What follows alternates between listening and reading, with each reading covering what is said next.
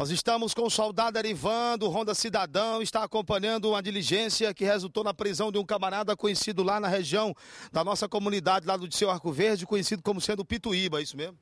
Isso mesmo, a gente estava fazendo ronda ali no, na área do Disseu 1, quando fomos acionados pelo telefone de bordo, que tinha um indivíduo é, agredindo as pessoas e também tinha entrado no comércio e danificado um, um bem material de uma senhora lá. A gente fez a diligência e conseguimos encontrar o mesmo ainda na frente da, da lojinha.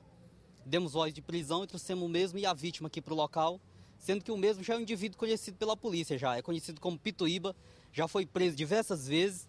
Inclusive o mesmo, a gente já fez uma abordagem a ele ontem, no serviço de ontem tinha feito uma abordagem a ele, e o mesmo disse que foi envolvido naquele homicídio ocorrido no dia 2 de junho, de um também indivíduo, cidadão agressor, é, conhecido na, na área do Disseu, de Dilcim.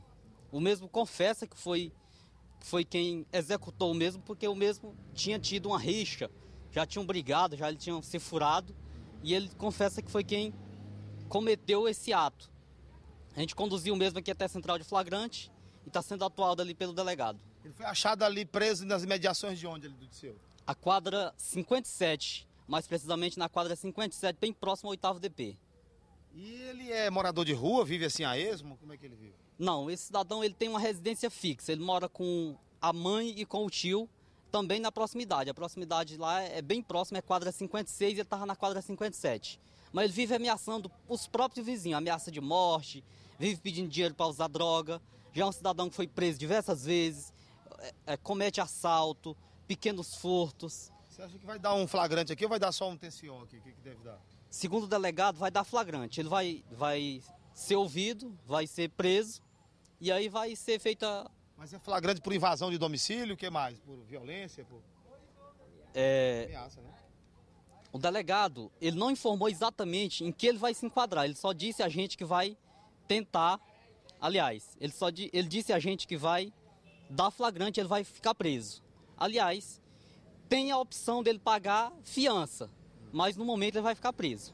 Só merecer um favor, esta é a viatura de vocês, não é isso? O telefone. Exatamente. Essa aqui é a viatura, que ela está 24 horas na área do DC1.